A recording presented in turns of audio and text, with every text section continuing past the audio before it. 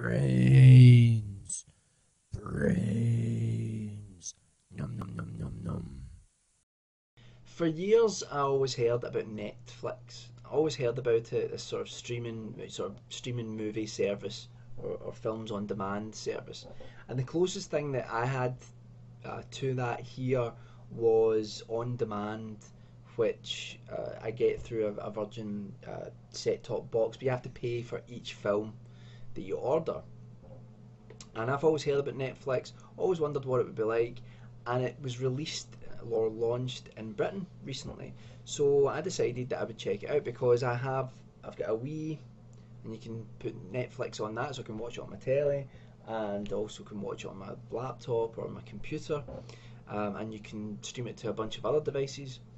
Um, I don't have an HD television. I've got I'll show you at some point. I've got a huge uh, projector which was a projection screen. It's not really a, a television. It's it's totally retro, uh, but it's like a cinema. It's not the size of a cinema screen, but it's like a cinema screen, and that it's a sort of proper projection, but it's standard def, which is the the only sad thing about it. Um, and I got that TV for free. I got it for free from my brother um, because the work he was at, they were throwing them out. And I got one. It's amazing. Anyway, um, so I don't mind like streaming it through the Wii because the Wii can only stream in standard definition. So I got uh, Netflix the other night, and I just wanted to give my impressions on it for anybody else, especially in the UK that is thinking about it. And I think it's being rolled out to the rest of Europe as well. Here's the thing: there's this sort of war of words going on between Netflix, which has just launched, and Love Film. Now, Love Film is a service run by Amazon.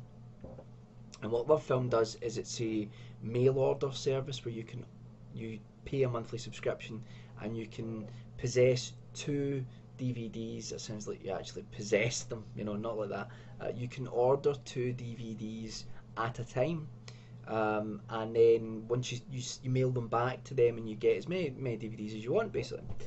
Um, and they've also started doing a, a streaming on demand type service. So they are uh, sort of conflicting with Netflix at the moment. There's a lot of argument as to which one's better. I can't say because I haven't tried the Love Film service. Um, all I can talk about is Netflix. But this does that. I just wanted to check it out because they were doing like a free, a month's free trial, which I'm still on. And uh, I just wanted to check out because I was free. So end of the day, we like free stuff. And what you do is you go on to Netflix once you've once you've signed up to it. You need to put in like your credit card detail, whatever details, and you go on go on Netflix, and you get presented with different genres of films and stuff like that. I know people that are in America that have Netflix all the time will be looking at me going, "Why are you describing this what Netflix is?" Everyone knows what it is. Just for those who do not, and you get like the uh, the front covers of the DVDs or the posters for the films and a description of what the film is and sort of put into all the different genres and I'm doing too many hand movements here so I'll stop doing that and uh, that's basically what Netflix is and you can rate the films you can also see if you use it through Facebook you can also see what your friends on Facebook like the films that they like and stuff like that um, recommendations and, and things like that so first of all on the service itself fantastic brilliant. I've not had one problem with it. The streaming is amazing. The picture quality is really good. I've heard there's problems with the Love Film streaming service that the picture quality is not the best. Picture quality here, fantastic. Um, not had one single glitch with it. I've watched so so many films on it, and there's also like a whole bunch of television shows, and you get entire box sets. So you just like watch, you know, entire uh, seasons of, of, of different TV shows great. But the problem is, the content in the UK is sadly lacking. If you look at what they have in America, they have this huge abundance of titles, of films, of television shows on their service. I've, I, have read somewhere that it was like something stupid like a hundred thousand television episodes and, and movies that you can use on the the uh, streaming service over here you've got 10,000, which sounds like a lot, but it's not really when it comes down to films because you think about it doesn't take that many television shows to like get into like the hundreds, you know. So the TV shows really take up an awful lot, which is fine if you love TV, but if if you're a horror fan specifically, there are only 35 horror films on the service at the moment, and some of them really just aren't worth my mind checking out. But there are some great horror films on there. There, there really are some fantastic horror films in there. But the service is very it, it is lacking. But you're paying five ninety nine a month for it. That's all you're paying for it. You can watch as many things as you want on it. You're not paying for uh, like each film that you watch. When I use on demand, every time it's like three ninety nine for one film. Okay, the films are much more up to date. They've sometimes they've been released at the same time they're on cinema, or uh, t- before they've come out in DVD, or at the same time they've come out in DVD. But still, uh, Netflix is obviously much much better value for money, and I think that they will obviously be adding content. I think the reason the content isn't there yet is because there's some licensing issues in Britain. They probably have to like I heard somewhere that they, they spent 1.2 billion dollars in America to have all of the licensing that they have for all of the the uh, television shows and films.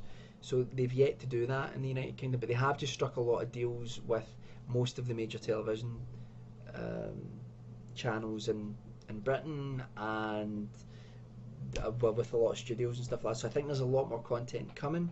What's a little bit worrying is that I've heard that some of the content has also been taken down, so I don't know why that would be. But overall, despite the lack of content, I've watched some fantastic films on it.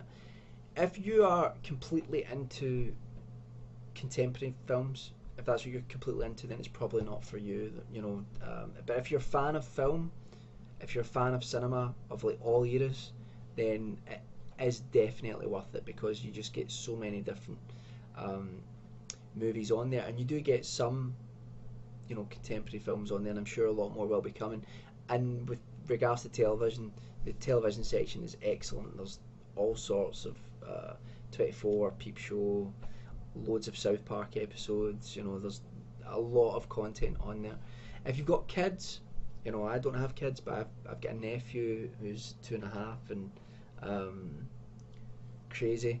Uh, he loves Thomas the Tank Engine. He does, and Netflix has 308 episodes of it. So if you get kids, they and they even have a section where you can you can sort it. Uh, I keep doing this because of the Wiimote on the Wii. It's like that's what I'm used to doing it with.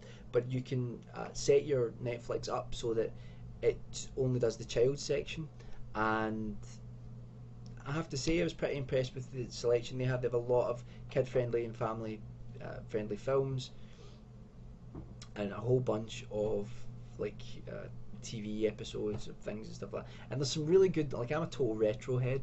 Obviously, if got a rear projection television then a Ghostbusters uh, poster in the background, I was going to call that a T-shirt. That's not a T-shirt. That's a poster. Uh, but I'm a total retrohead, so there are a lot of like films on this that from my childhood, like The Explorers.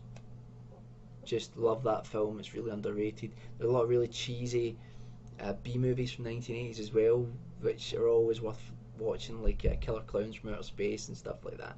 A lot of classic films like In the Heat of the Night that I watched recently, wonderful film. RoboCop, stuff like that. Um, and with regards to TV shows, there's, there are even TV shows from my childhood. Like, uh, me and my girlfriend, we sat and we watched Inspector Gadget, just because my girlfriend's a little bit younger than me, so some of her references to like television shows. She's like five years younger than me, so there's like there is that almost generational gap between us, uh, where she'll see something she'll just say, before my time, you know. But like stuff like Inspector Gadget, like we both went. You remember this? We both watched as kids. We watched an episode of it, and uh, she put the Power Rangers on, which I was too old. I think Power Rangers debuted in like 1993, so I would be like, well, I was old. I was 12. That's what age I was. You can work out my age now. Um, and uh, she watched. The only thing I would say, if you use it through Facebook, it posts the films and things that you watch on your Facebook page. You can click don't share as you start watching it. I forgot to do that when we were watching Power Rangers, and then my Facebook page, I think a lot of people were going, "Why is Michael watching the Power Rangers?" People with kids, it'd be fine. They'd be like, "That well, it must be for the kids." But people are like, "Michael doesn't have children. Why is he watching Power Rangers?" So that's my, my review, my, my conclusion of Netflix on the UK service anyway, would be that I would get in on it now because I think the service will explode. Not literally like the Death Star, it will uh, become far more popular, and when it does, the service is going to expand, and probably the subscription fees are going to go up. And I'm hoping that the people like myself who have get in there at the beginning, we would be still jamming with the five ninety nine. Just be like, yeah. But it's just such a great thing. It's so handy to have, and I have to, and I will admit here, I watch a lot of films online, um, and uh, whether you agree with that, agree with that or not, but I do watch a lot of films online, and it gets pretty annoying doing that, if you know what I mean. And I'm quite happy to pay five ninety nine to watch a lot of stuff happily on my TV. What do you guys think? Do you have Netflix in the US? What, what's your experiences with it? And have you tried the, the UK service? And like I say, 30 day trial, you can cancel it at any point. It's not one of these things that you get stuck in or anything like that. You cancel at any point. After that, it's five ninety nine a month, and you pay it per month. So if you want to stop using it, you know, you pay for for one month. And you want to stop using it, just stop using it, and that's uh, that's it. So can't say fairer than that. Five ninety nine for ten thousand titles so far, and hopefully going up to the tens of thousands of titles and a better um, range of content. I think it's pretty awesome, and that's what I think about it. So, what do you think? Let me know. As always, check out the forums below, and you have a very nice day. I've never ended video like that my life. Saturday night, so I don't know I'm saying have a very nice day. Have a nice Sunday, and I hope you're having a good Saturday night. Probably better than mine, because I'm sitting here recording videos. But that's what I like doing.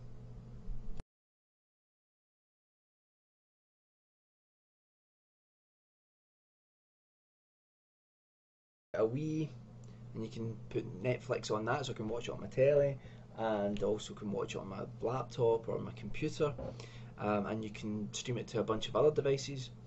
Um, I don't have an HD television. I've got. I'll show you at some point. I've got a huge uh, projector, which was a one. It's amazing. Anyway, um, so I don't mind like streaming it through the Wii because the Wii can only stream in standard definition. So I got uh, Netflix the other night, and I just wanted to give my impressions on it for anybody else, especially in the UK that is thinking about it. And I think it's been rolled. Brains. Brains. Num num num num num. For years, I always heard about Netflix. I always heard about it, this sort of streaming, sort of streaming movie service or, or films on demand service. And the closest thing that I had uh, to that here was on demand, which uh, I get through a, a Virgin uh, set top box, but you have to pay for each film that you order. And I've always heard about Netflix, always wondered what it would be like, and it was released or launched in Britain recently. So I decided that I would check it out because I have I've got a projection screen. It's not really a, a television. It's it's totally retro, uh, but it's like a cinema. It's not the size of a cinema screen, but it's like a cinema screen, and that it's uh, sort of proper projection, but it's standard def, which is the the only sad thing about it. Um, and I got that TV for free. I got it for free from my brother um, because the work he was at, they were throwing them out. I got